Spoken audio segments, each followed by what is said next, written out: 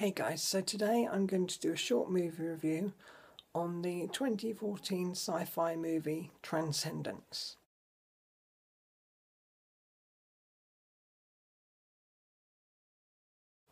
Now, this movie stars Johnny Depp as Will Caster, Rebecca Hall as Evelyn Caster, Paul Bettany as Max Waters, Cillian Murphy as Agent Buchanan, Kate Mara as Bree, Morgan Freeman as Joseph Tagger, and there's a whole other list of people. But those are like the main people that are in it, the main like big, big stars. So it's a complicated movie, this one, so I won't go into huge, huge details. But the movie revolves around Dr. Will Caster, played by Johnny Depp. He is a big, big, like, popular researcher in the field of artificial intelligence. And he's working away to create a sentient machine that combines the collective intelligence of everything ever known, along with full range of human emotions. And it's all about how his efforts to do all this has made him a target for various groups. And there's this group called Rift that is revolutionary independence from technology. And they are trying to stop all this from happening. And the movie is about how at a talk when he's talking about this.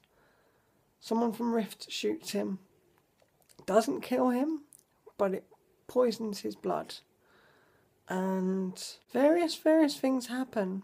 And just before he actually does die spoiler alert but you know this if you've seen the trailers they upload his consciousness onto computers and it's all about how his wife takes on the project and it's all about how various things happen and how this new mind that is conscious gets out into the world, this AI, and starts to do various things. And it's like trying to take over. Can they stop it? You'll have to watch the movie to find out. So, yeah, this movie was really enjoyable. It was very complicated. It's one that you need to go into sort of knowing what it's about because it can be a bit confusing. I really did enjoy it. I loved the special effects that they had.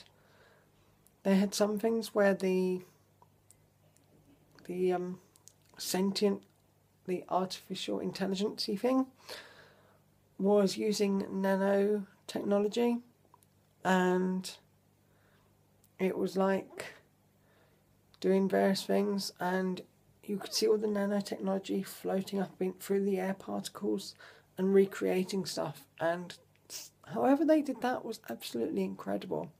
Special effects were really, really good.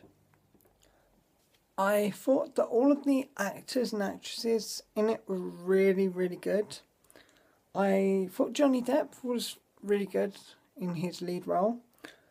I thought Rebecca Hall, Paul Bettany were fantastic one that I would say was really outstanding, apart from Morgan Freeman, was Kate Mara, who played Bree, one of the characters who is in Rift, the terrorist organisation.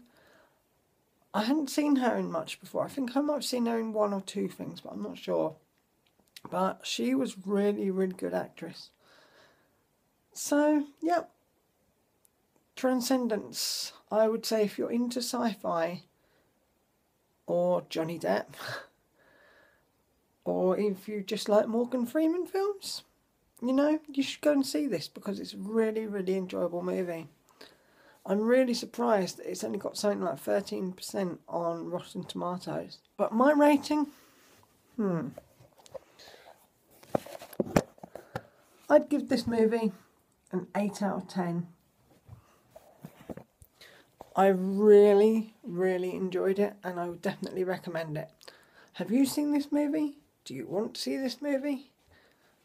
Leave a comment down below and if you liked this video give it a thumbs up. It's always appreciated. And hey, I've gone yellow. So I will see you in my next video. Bye guys.